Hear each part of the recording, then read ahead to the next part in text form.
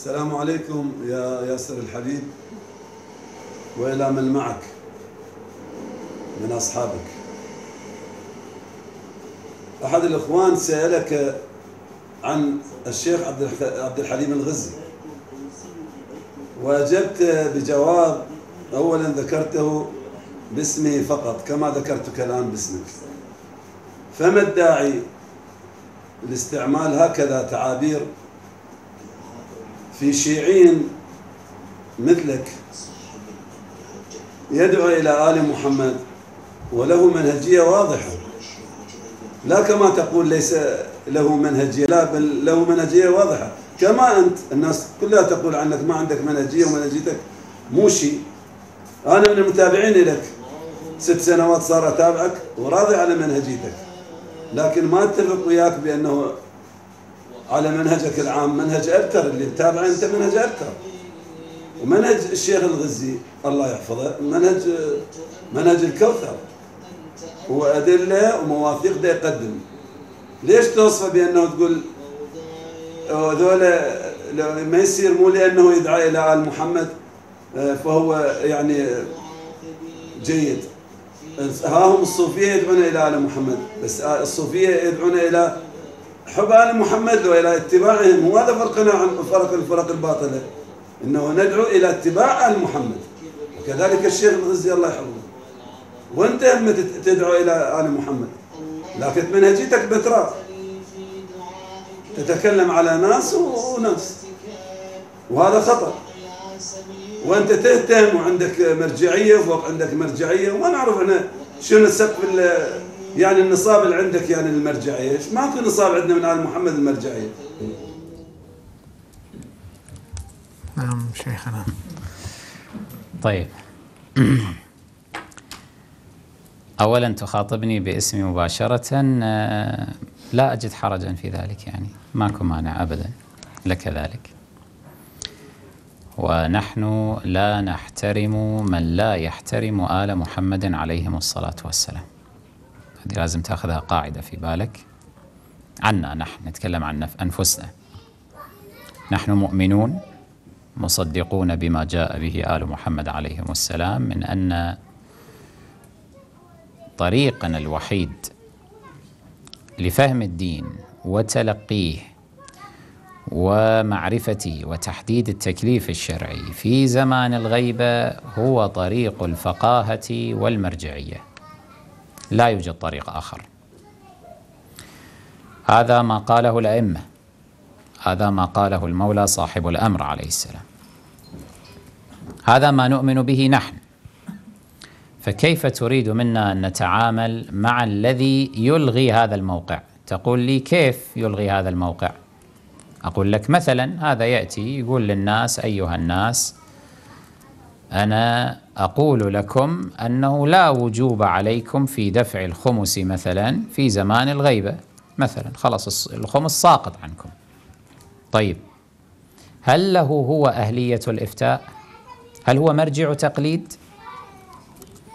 هل ينصب نفسه مرجعا للتقليد؟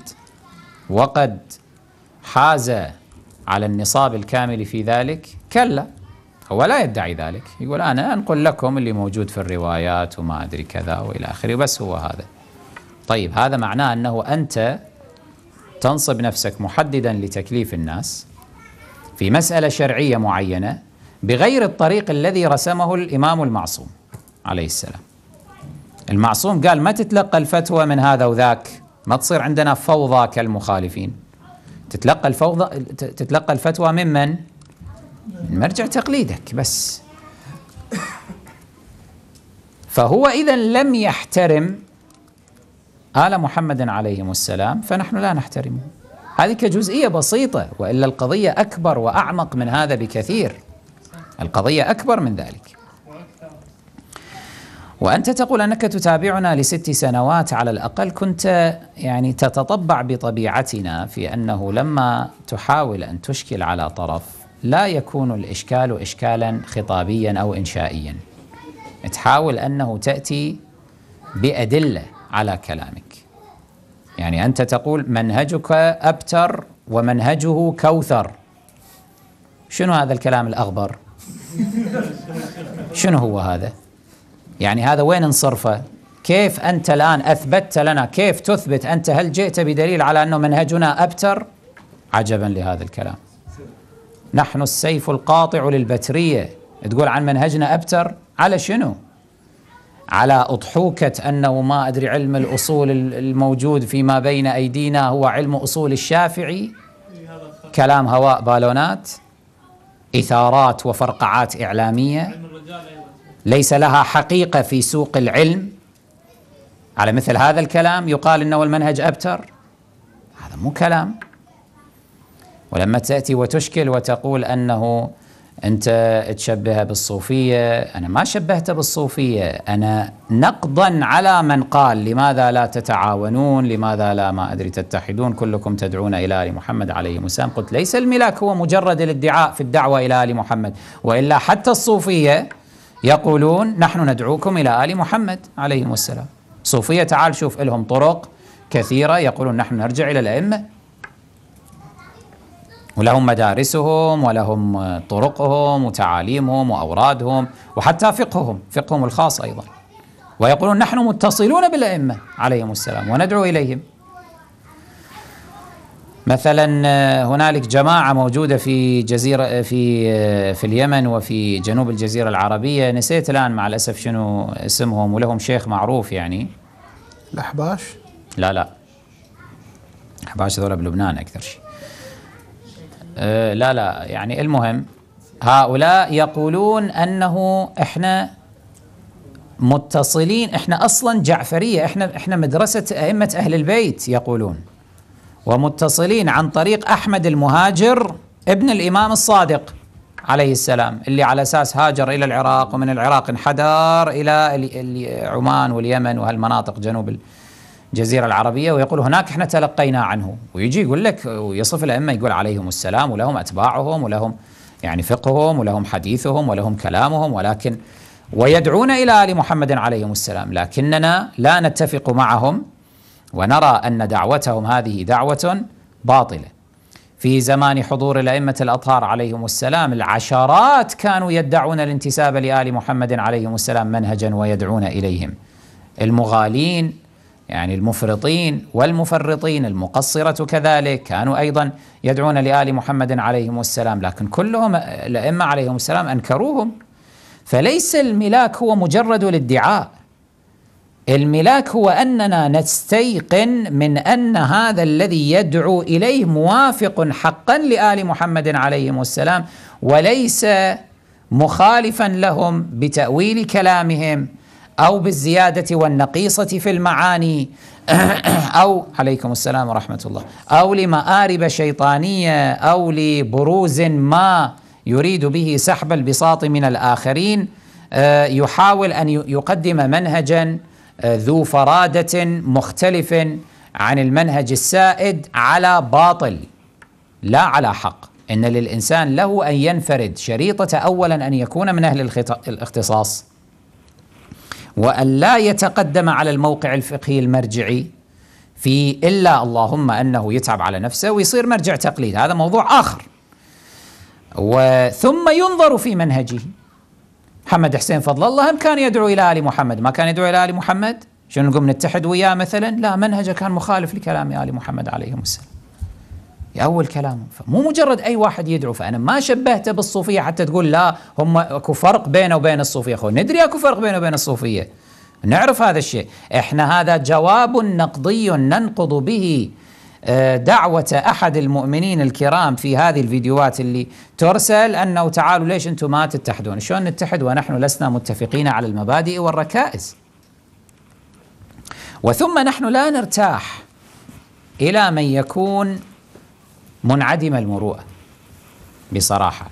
يعني هذا الذي يذهب لكي يفتش عن صغائر الأشياء ويكون نزق الحقاق بهذه الطريقة ويضخم من هذه الأمور ويحاول يصنع منها قضية وكارثة لتنفير الناس من العلماء مثلا هذا غير محترم. هذا منعدم المروءة والإمام عليه السلام يقول نظام الدين المروءة من لا مروءة له لا دين له. يروح يطلع ما أدري مرجع تقليد أخطأ في آية مثلا لما يقرأها عن ظهر يعني آه، من ذاكرته. زين ويكبرها ويقول تعالوا شوفوا مستوى المرجعية عندنا. هذا انعدام مروءة هذا. هاي سفالة قلة أدب. ما أدري أنه تعال مثل نقل الملا هذا علي أنه جاي ذات مرة يقول أنه تعالوا شوفوا هذا المرجع لما كاتب كاتب إن شاء الله. دامجها يعني إن شاء الله كلمة واحدة كاتبها. إنزين؟ وشوفوا شلون إذا ما يعرف اللغة وما أدري كذا وإلى آخره. وهو جاهل مع الأسف يضحك عليه.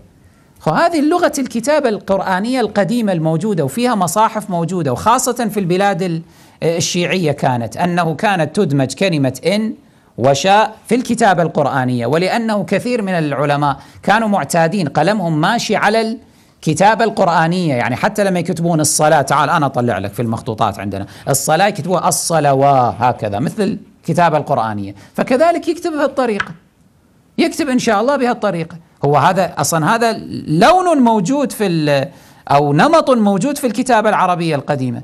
الآن مثلا تكتب شنو؟ فيما فيما كلمة واحدة تدمج مع أنه هي شنو كلمتين أو حرفين في وما. لكي لا تدمج شنو كلمة واحدة لكي لا. ما يخلون لكي وهي الأصل لكي كلمة وما لوحدها. فهذه أصلا فيها مدارس وفيها أساليب. شنو اللي صار يعني الآن؟ هسه على فرض غلط مع أنه مو غلط. أنت الجاهل اللي ما مطلع ما تعرف التاريخ تاريخ الكتابة تاريخ كتابة القرآن. أنا مستعد أطلع لك أنه مخطوطات قرآنية تكتب إن شاء الله بهذه الطريقة. ومو بعيدة يعني مو مو بعيدة جدا يعني إلى عهد قريب كان هكذا يطبع عندنا خاصة في الطبعات الحجرية وما شاكل. فإنت ما مطلع هسه على فرض غلط نفرض أخطأ خير إن شاء الله. تقوم انت تضخم القضية تسقط هذا المرجع تنفر الناس منه تريد تهزأ به على أساس أنه هو يعني بهالطريقة واحد يشكل على المراجع لو يشكل بطريقة أهل العلم يتكلم عن قضايا ركائز مو يقوم ياخذ أشياء تافهة بسيطة يضخمها وينسلخ من المروءة بهذه الطريقة حتى يبين نفسه هو الفاهم والبقيه مو فاهمين هذا اللي ما عنده مروءة لا يستحق الاحترام.